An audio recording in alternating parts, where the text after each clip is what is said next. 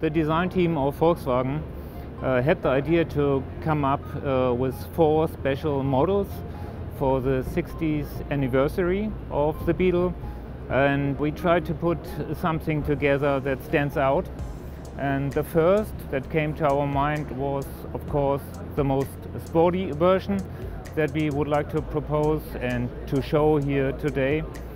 It's the R-Line concept that we show here and this car features a lot of new design elements in front and rear and shows which road we would like to take with more sporty cars.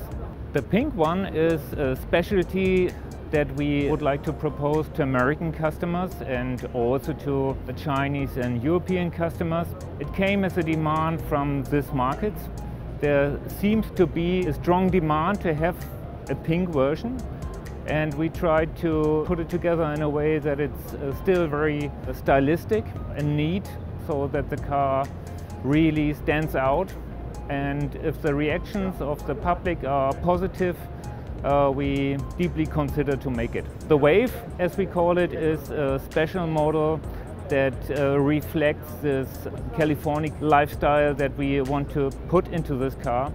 And we have a very special dashboard treatment. The dash pad is made of a special veneer, made of uh, very nice stripes of thin veneer uh, with an integrated lettering. If you can make it uh, into the market would be great.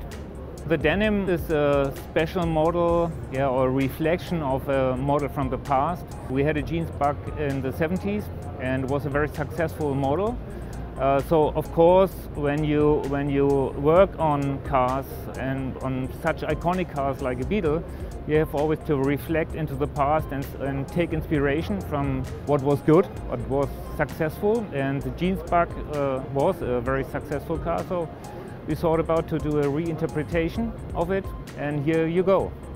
If the reactions are positive, I think uh, you don't have to wait uh, very long, yeah, uh, about half a year to a year and they will be on the market.